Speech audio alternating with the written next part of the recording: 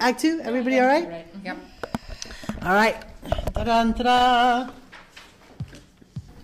Beauty, Sigh by Temi Rose. Act 2. Something familiar. The swimsuit competition is about to begin. The stage is empty. Arlen is setting up her equipment to shoot the contest. Grace is stage right to call the show. Maggie is in the house. May is stage left in a robe. Ellen and Angela, in the office, are able to watch the pageant on a monitor while they do business.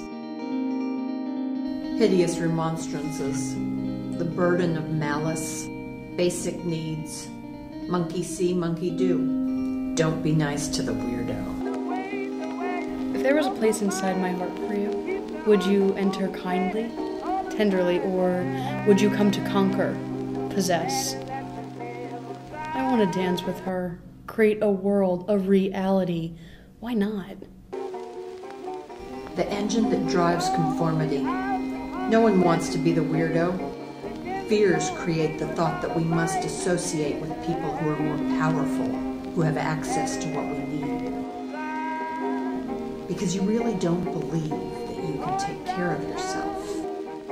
How much brutality should someone have to wade through? People have ascetic needs, not just basic needs. How much punishment for the crime of loving? We crave our own enslavement, if not to a person, then to an idea, a tradition, a revolution. Anything just so we can give the responsibility for our lives to someone else.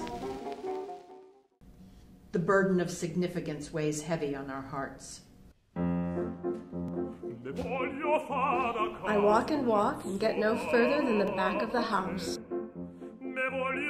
Our society tries to kill the smart kids.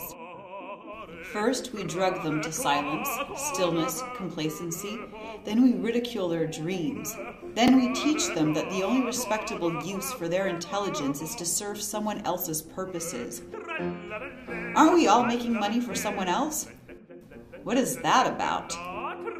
So I said, I don't need your money, Sonny. I'm in it for the kicks.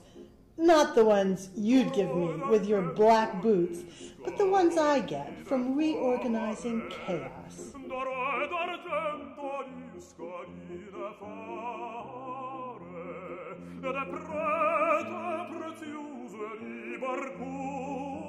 Are you an emotional vampire? Parasite, walking, walking, hundred, hundred, gorging, stuffing, stuffing your pockets, down, down, loaded, loaded, loaded.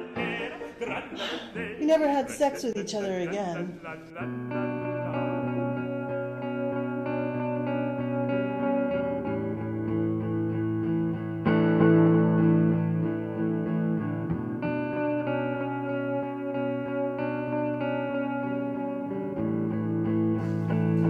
Is it so difficult to comprehend that each person is a gem?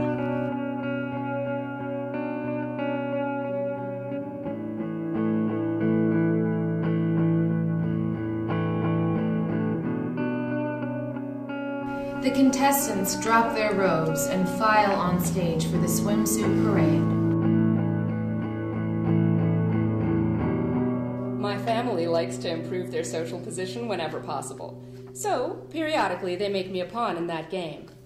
One summer, my crotchety elderly great aunt, who I was forced to spend a month with because my parents were traveling or in love again or something, my great aunt ordered me to spend time with a girl my age who I'd never met but who lived down the street and was from a really good family. Better than ours. They were the country club crowd. So I go. And the mother of this girl opens the front door when I ring the bell and says, Go on upstairs. What's her name is waiting for you in her room. Her room is crazy enormous. You can fit three of my bedrooms in hers. That was my first impression. The floor was wall to wall plush red carpet. The music blasting, louder than I was allowed. And then her. She's lying on the floor, sorting tiny little dot things into color coded piles. What are you doing? I say. If you get all the, I forget which colored ones, and take them, she says, you get really high. I find an excuse to leave and lie convincingly to my great aunt. Yes, indeed, I had a lovely time. They were very gracious. What is the first thing you remember? How old were you?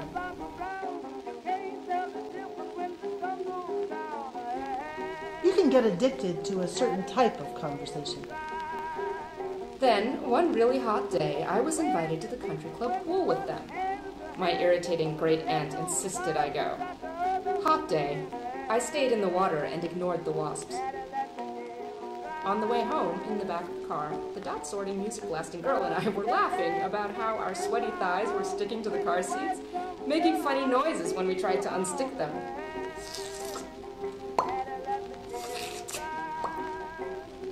Mother swiftly lurches the car to a stop on the side of the road, turns, faces us with a scrunched up, angry face. We watch stunned as she spit hisses.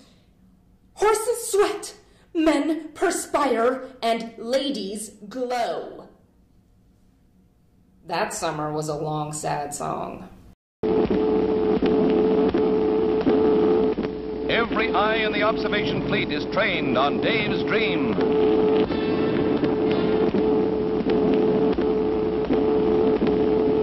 The Bombardier's supreme test is at hand as the bomb bay doors open.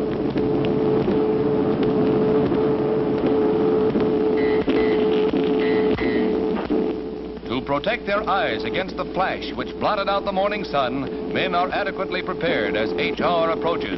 Even with these goggles, they saw a stab of light as brilliant as lightning, while those without goggles turned their backs and shielded their eyes with their arms. The bomb is away.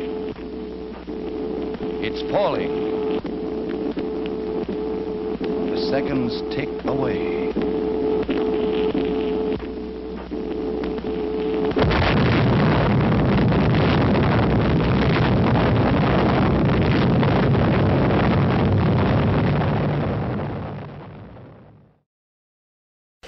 I want you to do one more thing for me.